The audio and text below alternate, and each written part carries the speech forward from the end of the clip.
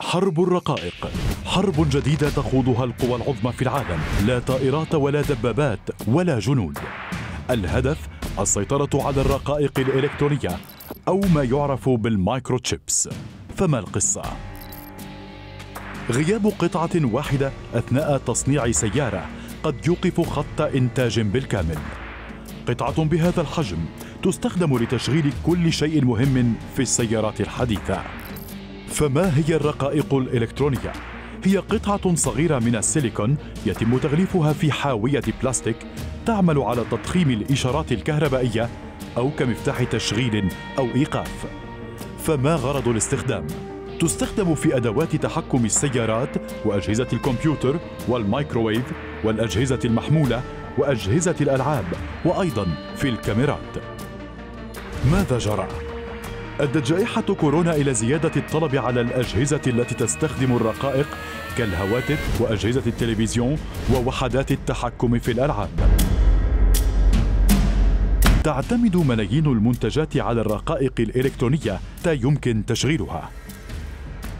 يواجه العالم الآن نقصا حدا في تصنيع الرقائق الإلكترونية مع توقف أهم المعامل عن الإنتاج وارتفاع أسعار الشحن وتعطل سلاسل الإمدادات. كيف يؤثر النقص على الشركات؟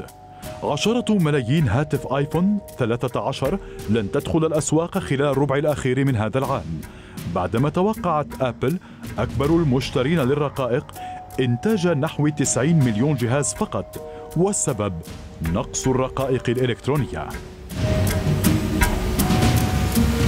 شركات السيارات في العالم شهدت تأثرا بالغا. تويوتا خفضت إنتاجها بنحو 40% الشهر الماضي. فولكس فاجن اتخذت خطوة مماثلة. جنرال موتورز وفورد ونيسان وديملر وبي إم دبليو ورينو أيضا قلصوا إنتاجهم.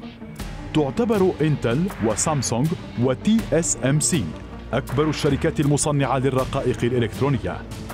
البلدان المهيمنة على الإنتاج. تستحوذ تايوان على نصيب الأسد بنسبة 63% وتتطلع لزيادتها إلى 65% تأتي كوريا الجنوبية في المركز الثاني بنسبة 18% ثم الصين بنسبة 5% فيما تنتج باقي دول العالم 12% الأسوأ لم يأتي بعد هذا ما قاله بات جيلسنجر. رئيس شركة إنتل لصناعة الرقائق إذ توقع جيلسنجر استمرار الأزمة لمدة عام أو عامين قبل أن تعود الإمدادات إلى وضعها الطبيعي